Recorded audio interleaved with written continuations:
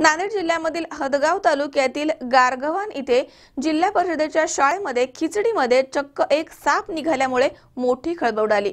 शाळा प्रशासनाच्या हलगर्जीपणामुळे हा साप खिचडीमध्ये अक्षरशः शिजून निघाला आणि एका मुलाच्या ताटामध्ये हा साप आढळून आला. या शिक्षकांच्या लक्षात येताच खिचडी खाण्यापासून सर्व मुलांना रोखण्यात आलं. मात्र अशा बेजबाबदार प्रशासनाच्या कारभारामुळे मुलांच्या जीवावरती बेतलं असतं. या घटनेचे तीव्र पडसाद उमटले आहेत. पालकांनी तीव्र नाराजी व्यक्त केली आहे आणि कारवाईची मागणी केली आहे. आजपर्यंत आपण जिल्हा परिषदेच्या शाळेमधील गलथान कारभारामुळे खिचडीमध्ये पाल उंदीर पडून विषबाधा झाल्याच्या अनेक घटना ऐकल्या असतील. मात्र नांदेड जिल्ह्यामधील शाळेच्या खिचडीमध्ये चक्क एक साप शिजल्यानं एकच खळबळ उडाली आहे. हदगाव तालुक्यातील गारगव्हाण येथील जिल्हा परिषदेच्या शाळेमध्ये हा धक्कादायक प्रकार घडला आहे. खिचडी खाण्याच्या पूर्वी शिक्षकांना तपासणी करत असताना एका विद्यार्थ्याच्या ताटामध्ये हा साप आढळलाय.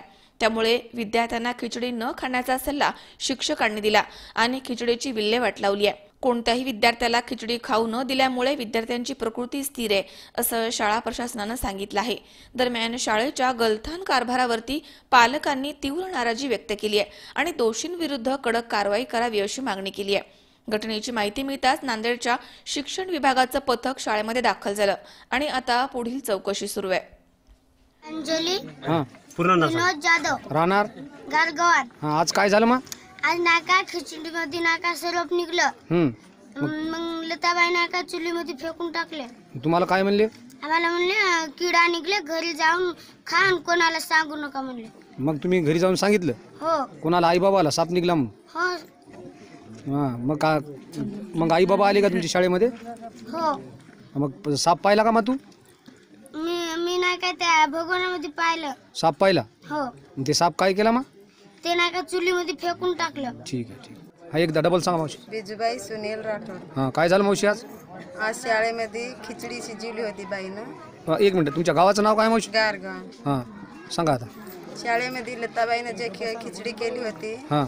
तर त्याच्यामध्ये सरप निघला. हां. तर लेकराला तिनं फेकून द्यायचं असतं. तरी तिनं लेकराला दिलं.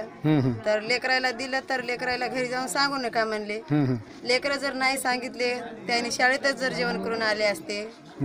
तर त्या त्याचं काय होत होतं ते त्याने विचार केला पाहिजे. ते साप काय केला त्या मावशीने? साप चुलीमध्ये टाकून दिलं. लेकराने पाहिला वाटतं ना? लेकरानं पाहिलं आम्ही पण पाहिलं. पाहिलं हो. अन् पुन्हा पाणी. प्यायचं पाणी पण स्वच्छ दिलं पाहिजे कारण की लेकर आम्ही त्याच्या जिम्मेदारीवर धाडते. हो हो. तर ते पाणी पण लई घाण आहे. त्याच्यामुळं लेकर रोज घरी येतात पोट दुखते म्हणते कोणी संडास लागते कुणाला उलटी होते. हे जोखमदारी खिचडी शिजवणारी बाईची असते किंवा हेडमास्तरनं पण चौकशी केली पाहिजे. तर आम्ही एवढं रिक्स घेऊ घेत गेलो पहिल्यांदा बी. पण कसं झालं आम्हाला वाटू लागलं कारण की बाई म्हणजे आईप्रमाणे वागवते लेकरायला. तर तिनं रिक्स घेऊन काळजीपूर्वक लेकरायची काळजी घेतली पाहिजे. तर आईबापाने निश्चिंतपणे राहत पाच साप निघलं तर तिने वरची खिचडी काढून बाजूला टाकली. तर खालची खिचडी वाढू लागली म्हणा. लेकराईनं म्हणले आई आम्ही खाल्लं नाही. तरी पण लताबाईनं म्हणले की घरी जाऊन सांगू नका. काय झालं मावशी आज? आज खिचडी शिजवली लताबाईनं. हां. हं? त्या खिचडीत सरोप निघाला. हं? आम्हाला एक एकच लेख राहत. त्याला जिम्मेदार कोण आहे ते नाही नाही आता? ते साप काय केला मावशी? साफ आहे ना चुली टाकला म्हणून घरी जाऊन सांगा हां. की आहे ना आज खिचडी नाही. आणि ले- लेकराला काय सांगितलं? लेकरायला सांगितलं की घरी जाऊन सांगू नका आई वडिलांना काय होतं म्हणले? किडा होता म्हणून लागले इथं. साप तुम्ही पाहिला मावशी? हो पाहिला आम्ही साक्षात.